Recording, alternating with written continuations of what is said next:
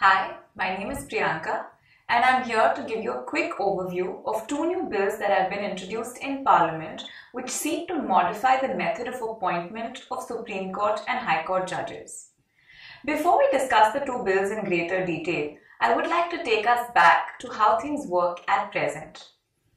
The current system of appointments of judges to the High Courts and Supreme Courts is laid down in the Constitution of India.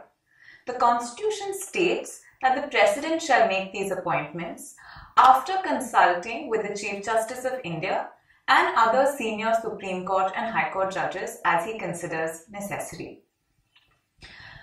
This is the process that continued up until the 1980s. Between the 1980s and the 1990s, this issue of method of appointments of judges to the higher judiciary was re-examined and reinterpreted by the Supreme Court.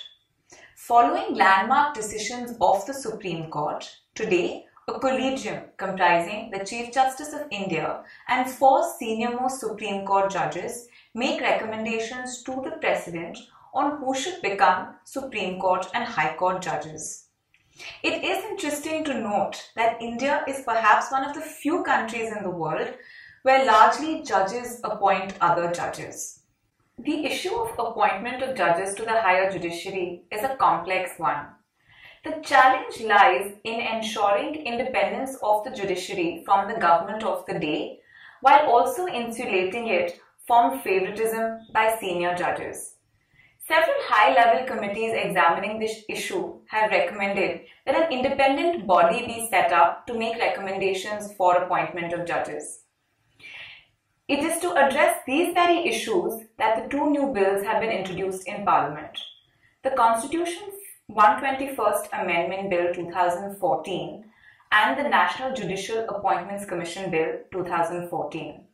The Constitution Amendment Bill amends the Constitution to introduce an independent body called the National Judicial Appointments Commission.